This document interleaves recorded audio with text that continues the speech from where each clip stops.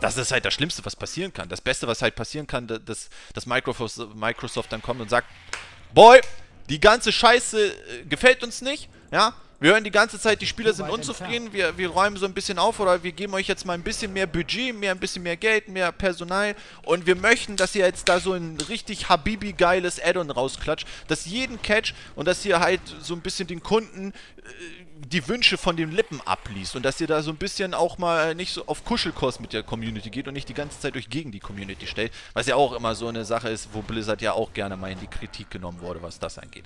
Dass sie halt nie hören und immer nur dann hören, wenn es halt zu spät ist. So. Das, ist, das sind vielleicht so Tugenden, die kann, äh, die kann dann Microsoft so ein bisschen den Typen beibringen, den Leuten, die da so ein bisschen in der Position sind und sagen, yo, wir sind, eure, wir sind eure Babas, ihr hört auf uns und wenn wir sagen, ihr sollt das so machen, dann sollt ihr das so machen. Und wenn ihr es nicht macht, dann wird es halt dann Konsequenzen geben. Dann werden halt Köpfe rollen. In dem Sinne, ihr werdet gekündigt. So, normales Businessleben. Ist halt leider so. Das ist leider eine Tatsache, damit muss man sich halt auch mal ein bisschen zufrieden geben, dass es halt sehr, sehr hart zugehen kann.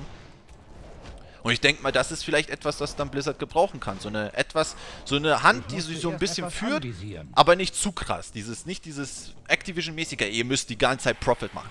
Alles, alles muss so aufgebaut sein, jedes Addon muss so aufgebaut sein, dass ihr da das Bestmögliche aus den Leuten rausquetscht. Das glaube ich nicht, dass Microsoft drauf, drauf sind. Klar wollen sie sagen, ja, wir müssen Profit machen, aber die werden schon sagen, ey Jungs, aber ihr müsst schon ein geiles Spiel machen. Es soll schon Spaß machen. Ne, es soll jetzt hier keine Abzocke oder Zeitverschwendung sein, sondern es soll schon Bock machen. Und ich glaube, da ist Microsoft durchaus eine Firma, die das, äh, die da in der Lage sein sollte, so umstrukturieren oder so mal mit da vorbeizugehen und zu sagen, Jungs, Gameplay first.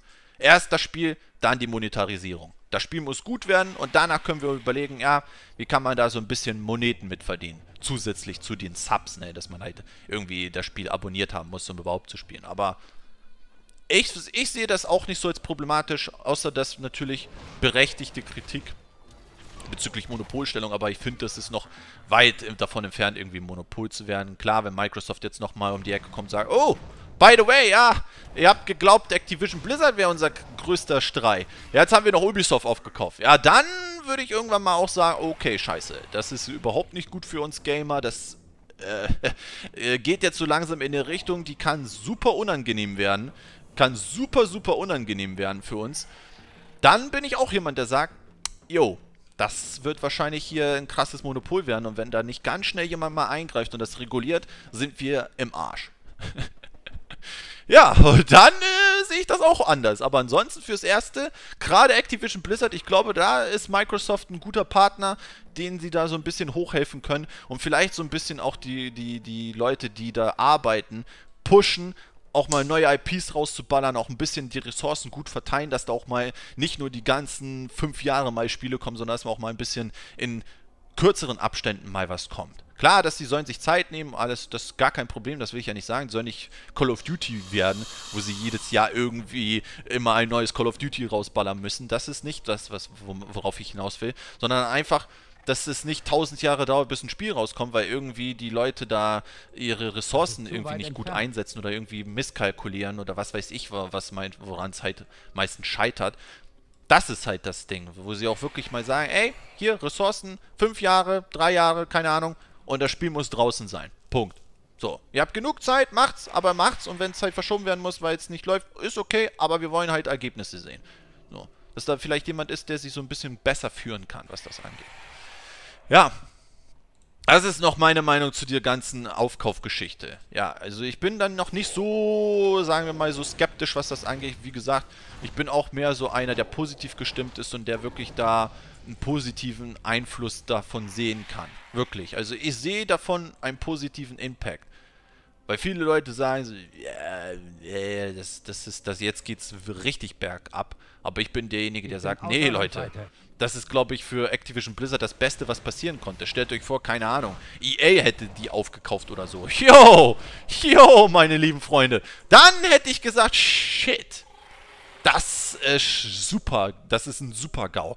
Viel Spaß, erstmal 5 Millionen DLCs zu kaufen. Viel Spaß, 1000 Millionen Mounts zu kaufen, um, um, um das Spiel überhaupt vernünftig spielen zu können. So, äh, so ist es ja normalerweise oder so wird EA gerne dargestellt. Wo man auch mittlerweile so ein bisschen einen Sinneswandel sieht, aber nicht, weil sie nett sind, sondern weil sie gemerkt haben, oh, anders kann es auch gut laufen. Probieren wir mal erstmal die andere Schiene, bevor wir wieder auf Standard gehen. Aber da sehe ich zum Beispiel die nicht gut aufgehoben bei EA. Da werden, da werden sie ähnlich wie Activision Blizzard hart gemilkt.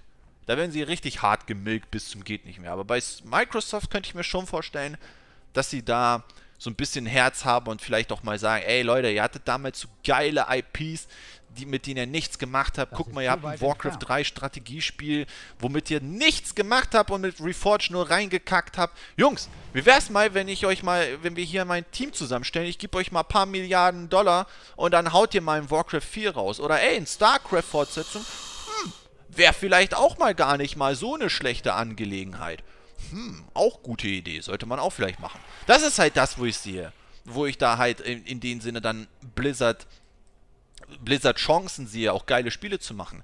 Weil du hast halt kein Activision, wo die da die ganze Zeit an deinen Nacken hängen und die ganze Zeit so, ah ja, wir müssen Geld machen, wir müssen Geld machen. Jungs, alte IPs, Strategiespiele, das bringt doch gar kein Geld, Leute. Das, das bringt nur 0,0 Geld ein. Wir müssen nur Call of Duties, WoWs rausballern. Alles andere ist vollkommen für den Arsch. Ich denke mal, Microsoft ist nicht so drauf. Die sind schon so ein bisschen, ja, Leute, Profit, wichtig, aber auch mal, auch mal ein bisschen das Portfolio erweitern. Ich meine, ihr müsst euch das mal angucken. Jetzt mal als Beispiel in Strategie-Genre, weil ich bin ja ein großer Warcraft 3-Fan. Ich bin, das ist der überhaupt der ganze Grund, warum ich zu WoW gekommen bin. Ohne, ohne Warcraft 3 wäre ich nie zu WoW gekommen. Bin ich einfach mal fair und ehrlich. Das ist halt einfach ein Fakt. So. Und dann vielleicht mal, wenn man jetzt so auf Microsoft drüber guckt, dann sieht man ja auch so in gewisser Maßen, dass da auch äh, so Nischenprojekte auch gerne mal äh, finanziert und auch gute Qualität abgeliefert wird. Beispiel, kann ich ja auch sagen, Beispiel Age of Empires. Da gab es eine Definitive Edition von, glaube ich, den zweiten und dritten Teil und das wurde sehr, sehr gut aufgenommen. Nach, also ich glaube, es gab Startschwierigkeiten, Probleme und dies, das, aber die wurden sehr schnell gefixt. Ist ja völlig okay. Wenn es schnell gefixt wird, bin ich da noch jemand, der sagt, okay, völlig entspannt. Und dann haben sie gesagt, ja, komm, hauen wir noch mal ein Age of Empires 4 raus, ein Strategiespiel. Wo ja viele immer, also, wo viele Leute immer sagen, ach Leute, das, das, das, das hat gar keinen Bestand, das gibt uns ja gar nichts. Aber Microsoft hat trotzdem gesagt, ja, aber viele Leute wollen das, viele Leute feiern das, macht's. Und haben sie es gemacht. Und scheinbar ist es, so wie ich jetzt gehört hatte, gut angekommen, das Strategiespiel. Ich bin kein Age of Empires Fan, wie gesagt, ich bin mehr so Warcraft 3 Fan. Aber da sieht man es halt, da, da, da, da, hast du halt Microsoft, die halt auch bereit sind, auch in solchen Nischenprojekte Geld zu investieren, einfach nur um so ein größeres Portfolio zu haben oder vielleicht auch mal so ein bisschen mehr, mehrere Schichten anzusprechen. Kann ja uns am Ende scheißegal sein. Hauptsache wir kriegen geile Games und das ist ja das, was für uns ja dann geil ist. Und da sehe ich halt bessere Chancen mit, mit Microsoft, die dann sagen, ey, Warcraft 4? Warum nicht? Ballern wir raus, machen wir mal, ganz gar kein Problem. Hier, nimm Entwickler oder holen uns vielleicht noch mal ein paar Leute dazu. Keine Ahnung, wie sie es stemmen wollen, aber irgendwie werden sie es halt stemmen. Hier habt ihr Geld, macht. So.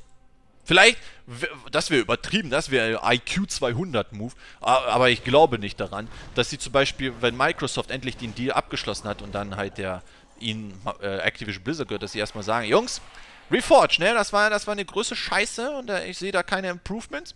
Fix das mal. Hier habt ihr Geld, fix das jetzt. Das, das, das stört uns. Wir möchten erstmal diese Marke wieder ein bisschen aufpolieren, bevor wir vielleicht einen vierten Teil rausbringen. Fix das mal. Und vielleicht kommt, kommt dann so dieser Moment, wo dann äh, einfach mal Microsoft derjenige ist, der ein Spiel einfach mal fixt, was, was einfach mal komplett in einen desaströsen Zustand kam. Ja, und das ist doch gar nicht so schlecht. Wie gesagt, die Tatsache, dass ich Microsoft sowas mehr zurechne als anderen Publishern, sprich Bände. Und ich bin nicht der Microsoft-Fanboy, das muss man auch dazu gesagt haben. Wenn ich mich in ein, wenn ich, ich bin nicht so ein, überhaupt Fan von diesem Fanboy-Gedöns, aber wenn ich zwischen Sony oder Microsoft entscheiden würde, würde ich eher Sony nehmen. Einfach weil ich da eine größere Verbindung habe, gerade bezüglich Final Fantasy. ist, ist da einfach meine, mein Ursprung so. Da habe ich halt meine ganze Kindheit erlebt. Das ist halt eine Sache, die wirst du, die kannst du nicht so schnell einfach auslöschen. Aber ich sehe halt, in, ich sehe halt Potenzial. Und deswegen bin ich auch positiv eingestimmt. Unabhängig von diesem ganzen Monopolscheiß. Das, ist, das kann erstmal außen vor bleiben. Hauptsache geile, das, es kommen geile Sachen bei rum. Dann, kann, dann bin ich erstmal bereit, soweit das erstmal auch, auch so ein bisschen ja, zu verdrängen oder erstmal zu sagen, ja, nicht so wichtig. Ja. Wobei, wie gesagt, es gibt genug, genug, genug andere Publisher äh, und Entwickler. Und solange da jetzt nicht irgendwie die auch noch aufgekauft werden, noch nicht. Weil jetzt gab es ja wieder einen Vorfall. Sony hat ja jetzt äh, Bungie aufgekauft. Äh, die halt Destiny und so gemacht haben. Jo, ist halt äh, auch eine krasse Sache. Und die haben jetzt gesagt, ja, das war noch nicht das Ende. Wir fangen gerade erst an, wo ich mir da denke, yo, das ist dann nicht so geil, weil jetzt, weil jetzt genau das dann entsteht, was ja viele sagen. Aber jetzt kaufen alle auf, dann wird vielleicht sich Microsoft bedroht für und sagen, Jungs, Sony hat schon wieder hier drei, drei Entwickler gekauft. Huh, shit. Wir müssen auch wieder mal wieder was aufkaufen, solange noch, solange noch äh, der Drops frisch ist. Und dann geht dieser ganze dann geht das, äh, das ganze Scheiß erst richtig los, wo, wo sich so diese ganzen großen Leute, äh, diese großen Publisher und Entwickler sich so ein bisschen in so einem Konkurrenzkampf befinden, wo sie sich so ein bisschen überbieten wollen. So, okay, so ist es wie so, keine Ahnung, wie Pokern, Alter. Okay, du sitzt 200 Dollar, du gehst, du, du gehst mit 200 Dollar mit, ich gehe mit 500 Dollar mit. 500 Dollar, päh! 1000 Dollar. Hm, 1000 Dollar, das ist ja nichts. 1500 Dollar. Und so geht es dann die ganze Zeit weiter, wo sie sich versuchen zu überbieten. Und dann haben wir ein Problem, weil dann gibt es nicht mehr so viele Entwickler, weil alles irgendwie der Sony Microsoft gehört. Und dann hast du ein Monopol. Nicht so ganz, weil dann hast du ja immer noch zwei, aber das ist dann schon ein bisschen beschissener. Und da sehe ich auch ein bisschen die Problematik.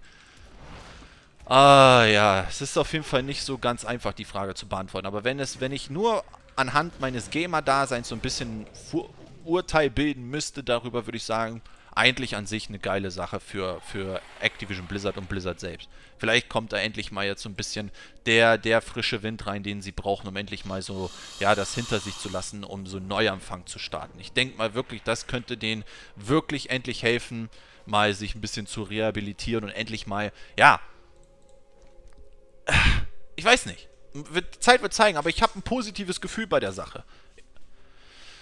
So, das waren die drei Themen, die ich besprechen wollte. Sorry, wenn es wirklich nur solche Billo-Themen sind oder viele Leute das schon wussten, aber ich, es sind wirklich die krassesten Schlagzeilen gewesen in den letzten paar Wochen, wo ich nicht die Chance hatte, mal darüber zu reden und ich dachte mir, ey, wir nehmen auf.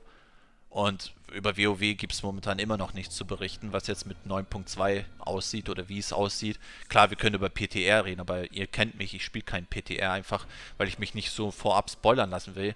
Hatte ich ja auch schon mal des Öfteren erwähnt, wozu, weil äh, sehe ich halt nicht ein, wozu PTR spielen, wenn ich einfach auch warten kann und dann kann ich es auch selber erleben. Weil wenn ich jetzt PTR spiele und dann das später nochmal aufnehmen muss für den Kanal, dann kenne ich ja alles. Dann bin ich ja schon gespoilert. Dann äh, gibt es halt keine, keine wirklich natürlichen Reaktionen, so, was? Hätte ich jetzt nicht damit gerechnet, sondern, oh ja, ja, habe ich schon im PTR gesehen. Nett. das, darauf habe ich nicht so viel Bock. Aber das waren so die krassesten News. Das ist schon echt heftig. Bin mal gespannt, wie sich das jetzt noch in diesem Jahr entwickeln wird, was, was uns da noch so erwarten wird. Nicht nur in diesen ganzen Aufkaufgeschichten, sondern einfach auch bezüglich auf Blizzard selbst, ob wir jetzt da wirklich einen Sinneswandel sehen, dass das vielleicht schon mal so ein bisschen Früchte getragen hat und wir mal endlich so einen positiven Impact davon spüren. Oder ob das erstmal so lange bis äh, ja, Microsoft die ganze Butze da noch nicht gehört, sehen wir da einfach noch gar nichts. Das ist halt auch natürlich eine Frage, die sich noch äh, ja, herauskristallisieren wird, wie weit das jetzt schon Einfluss auf die ganze Geschichte hat. Aber es ist ein spannendes Thema und das wird uns jetzt auch noch eine ganze Weile verfolgen wie gesagt, spätestens wenn Microsoft diese ganze Butze gehört, spätestens dann ist das äh, eine sehr relevante Sache, wo man sich nicht mehr, wo man nicht mehr nicht mehr sich davon verschließen kann, sondern sagen muss, huiuiui, jetzt bin ich mal gespannt, wie die ganze Sache äh, sich entwickeln wird. Und da bin ich halt auch riesen, riesen Fan davon. Hatte ich ja schon mal im Vorfeld gesagt. Wird sich, die Zeit wird zeigen, die Zeit wird zeigen, aber ich freue mich ich drauf. Ist eine gute Zukunft für Blizzard. In meinen Augen kann natürlich, ihr könnt wie gesagt in den Kommentaren schreiben, wie ihr es seht, aber ich sehe eine gute, gute Sache vor mir, die vielleicht wirklich einen, den entscheidenden Impact bringen könnte, den Blizzard schon seit einer ganzen Weile gebraucht hat. So, jetzt die letzten paar Minuten können wir jetzt auch mal ein bisschen auch wieder in die Quest-Geschichten ausatmen, ne? Haben jetzt genug mal über die ganze Scheiße da geredet. Aber ich finde, es ist ein wichtiges Thema und Ich weiß nicht da draußen, ob es vielleicht jemand interessiert, wie ich dazu stehe, aber es ist, es ist durchaus eine spannende Sache und es gibt ja viele Leute, die sich ja nicht darüber informieren. Kennen genug Leute aus der Gilde, die, denen ich das auch mal erzählen musste, weil sie es erst super spät oder gar nicht erst mitbekommen haben. Und ja, ist halt gut für die Leute mal zu wissen, wie es gerade hier so aussieht. Ob es vielleicht auch diejenigen unter euch, die vielleicht mit WoW aufgehört haben, aber mir zum Beispiel noch mich gerne verfolgen, vielleicht auch mal so Interessantes mitzubekommen. Oh, so entwickelt sich da also WoW. Hm, spannend. Vielleicht komme ich ja nochmal wieder oder vielleicht auch nicht. Ist ja auch immer so eine ganze Geschichte für sich. Aber, wir sind jetzt 43. Geil, ich bin echt super mega happy. Wir haben zwei Levels für uns auf jeden Fall mal schon mal gestemmt. Da bin ich richtig froh darüber. Also, es sind nur noch sieben Level. Sieben fucking Level.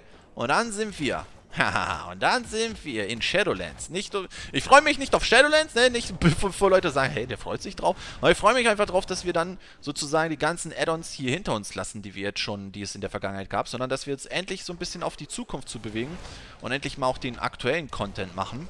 Und da habe ich Bock drauf. Da habe ich mega, mega Bock drauf zu sehen, was für welchen Pakt wir uns entscheiden werden. Weil ich habe, um ehrlich zu sein, noch nicht überlegt, welchen Pakt ich gehen werde. Weil ich habe jetzt jeden Pakt äh, mit meinen Twinks abgedeckt. Ne? Ich habe jetzt jeden, oder ich habe jetzt jeden einen Pakt zugewiesen.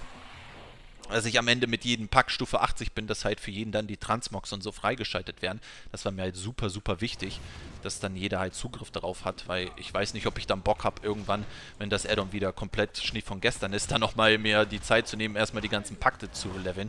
Deswegen mache ich das jetzt als später. Und ja, de dementsprechend habe ich hier freie Hand mit wel welchen Pakt unser guter hier Panda gehen wird. Und da weiß ich es noch nicht. Klar, es gibt bestimmt wieder diese Metakisten und so. Ah, ja, wenn du geil spielen willst, dann musst du unbedingt dahin. Aber ihr kennt mich. Ich bin mehr so ein Gefühls- und Bauchmensch, der sagt, ah, wie, wie passt es mir besser? Wie habe ich eher Bock? Möchte ich eher wirklich so in dieses, mich in dieses Mindset versetzen? Oh, wir müssen jetzt super, super krass kompetitiv gehen oder ach Leute, es geht doch einfach nur um Spaß oder spaßige Fähigkeiten und dann gehe ich doch einen anderen Weg. Das wird sich dann herausstellen. Bin ich noch gespannt. Das wird sich erst, äh, denke ich mal, im Laufe der Zeit herauskristallisieren, ja, welchen Pakt wir gehen werden. Ich habe wirklich noch mir darüber null Gedanken gemacht, weil wir sind noch, wir sind schon nah dran, aber es ist noch eine ganze weite Welt, die äh, es noch für uns zu erschließen gibt. Also da bin ich noch nicht so im Stress, dass ich jetzt irgendwie mir schon die Gedanken darüber mache. Aber was wir jetzt machen können ist, und das ist glaube ich auch der letzte, der letzte Schritt, den wir erledigen werden, wir werden unseren äh, Gott hier befreien, unseren Propheten Quetzlun. Ja, immer wieder nice, welche Namen sie sich so ausgedacht haben. Was kriegen wir dafür? Wir kriegen eine Waffe, die, ja, damage-technisch schon mal gar nicht mal so schlecht für uns ist, aber halt auch nur... Nur Beweglichkeit hat? Nur Beweglichkeit und Crit? Das ist aber irgendwie... War das, war das damals schon so, dass man wirklich nur... Ja, das ist ja okay, aber das ist ja kompletter Bullshit. Ich meine, ich meine mehr Damage und so, aber wir verlieren halt komplette Werte und so. Das ist dann nicht so geil. Äh, glaube ich nämlich nicht. Ich kann das Ich finde einfach tun. auch meine Waffen hier einfach viel zu geil, um sie abzugeben. Wobei, wir sind ein fucking Mönch. Das ist ja auch eine Sache, die ich ja immer wieder vergesse. Und das ist, das ist dann einfach so ein Style-Bonus, den ich, ah, das finde ich auch einfach geil. Ich wünschte mir, das würde Blizzard auch für, für andere Klassen auch einbauen, diese Möglichkeit einfach mal zu sagen, ey Jungs, ihr könnt einfach entscheiden, ob ihr Einhandwaffen auf den Rücken oder an der Hüfte tragen wollt. Das wäre wirklich eine Sache, da wird, das wird mich als Styler und jemanden freuen, der wirklich gerne Waffen sammelt, die man auf den Rücken tragen kann. Weil so ist es nämlich, Leute. Ich habe wirklich keinen Scheiß. Ich habe, glaube ich, so ziemlich, ziemlich jede Waffe, fast jede Waffe, die man so auf den Rücken tragen kann, äh, freigeschaltet. Also, oder besser gesagt, gefarmt. Ich habe sie alle. Klar, es gibt dann natürlich so Farb, die Farbvarianten gibt es nochmal in Unterschied. Zum Beispiel Eiskrone gibt es ja diese Äxte, die du auf den Rücken tragen kannst. Und die sind ja in unterschiedlichen Farbmustern. Das habe ich mir natürlich nicht alles gefarmt, sondern ich habe mir einfach nur eine Axt gefarmt von denen und das war's. Das muss man dazu gesagt haben. Also nicht jede Farbvariation freigeschaltet, aber so die Grundfarben schon. Und ich liebe das. Und gerade bei, äh, das ist dann, das ist dann natürlich auch so ein netter, netter Effekt, so dass du als Mönch einfach sagen kannst, fuck it. Ich kann einfach jede fucking Waffe auf den Rücken tragen und das wird automatisch auf den Rücken getragen. So hast du, so hast du gar nicht dieses, diese Einschränkung zu sagen, ah, ich kann nur diese Waffen nehmen, weil die sind die einzigen Waffen, die ich auf den Rücken tragen kann, sondern, sondern du kannst sagen, scheiße drauf. Ich kann einfach jede fucking Waffe nehmen. Das ist nice. Das finde ich nice. Ganz ehrlich, Leute, das ist wirklich, da geht mir so ein bisschen das Herz auf. Und ich sag's euch, wie es ist. Spätestens, spätestens ja, wenn wir Level 50 sind, werden wir hier natürlich, natürlich ein kleines Umstyling mit unseren, mit unseren äh, Panda hier vornehmen. Da werden wir nochmal ein bisschen was anderes. Ja, da werden wir nochmal eine andere äh, Form annehmen. Ne? Jetzt sind wir momentan so ein bisschen Horde-mäßig Veteranenvertreter, aber spätestens mit Level 50 werden wir kurz, kurz davor auch ein bisschen das Thumbnail abändern. Ne? Sonst haben wir immer diese Standard-Thumbnail mit unseren Horde-Klamotte und für Level 50 werden wir nochmal ein bisschen das Transmog abändern, damit wir ein bisschen auch passend für, das, äh, für dieses Addon ausgestattet sind. Aber, Leute, das war es jetzt erstmal wieder von Let's Play WoW Shadowlands mit unserem guten alten Mönch Panda. Wir sehen uns in der nächsten Folge wieder. Bin mal gespannt, was es sich vielleicht in der nächsten Zeit wieder so an News an rund um Blizzard oder so an, ja, was so entstehen wird. Mal gucken. In dem Sinne, bis dahin, Leute. See ya.